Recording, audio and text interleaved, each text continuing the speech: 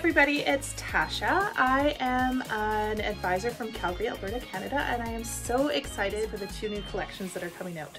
The Keeping the Faith and the Staycation. So let's go over the, the Keeping the Faith first. I love this collection. Actually, I love them both.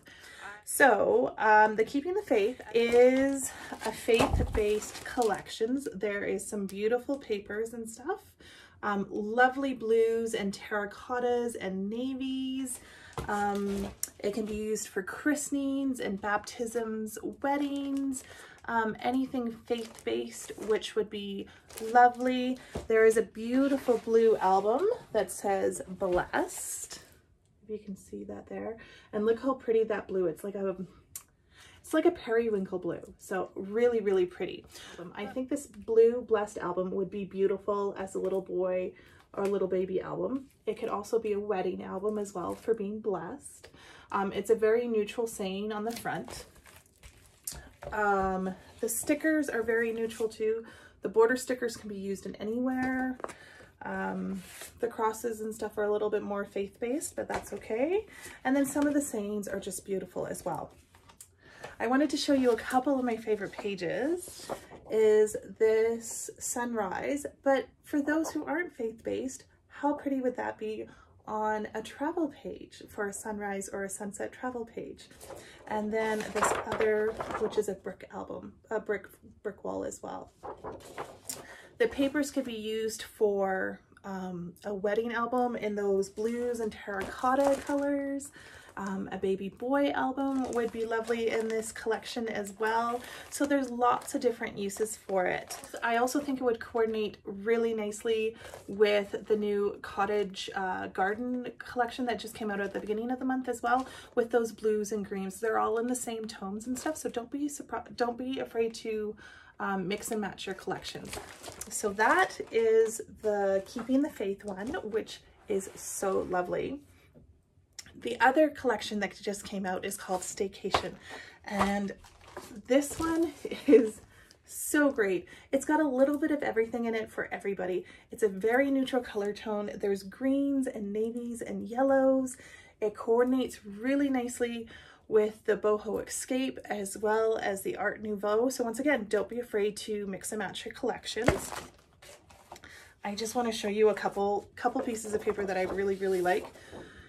There's this green, minty green, swirly geometric, and then these little thought bubbles. How cute is that?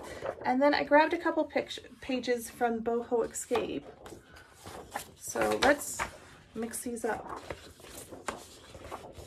So that really bold print and then the thought bubbles would go really nicely together. And then these two green pages are within the same color tone too.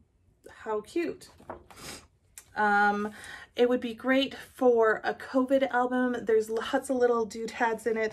There's a tap, a little picnic, a little staycation, some cards, a tablet, um, a stack of books, uh, all sorts of things to do with staycation. So a few little COVID things.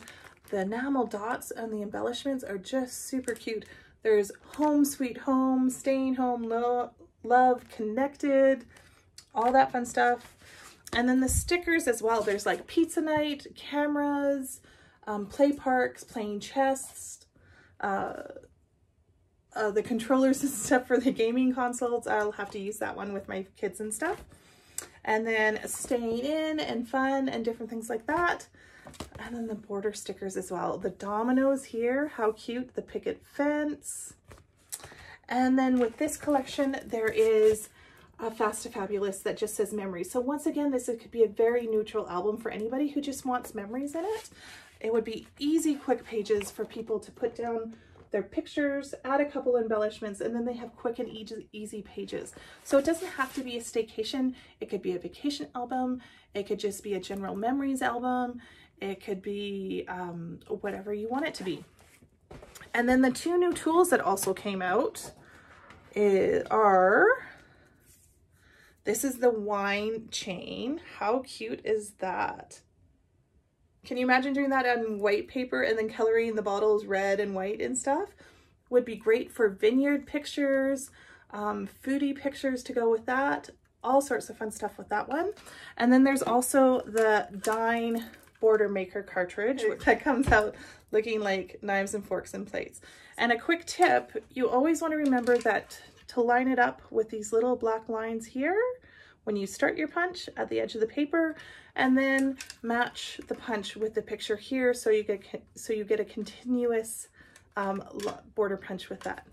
So that's some ideas on how to use the collections. I hope you enjoyed this. Till next time, bye!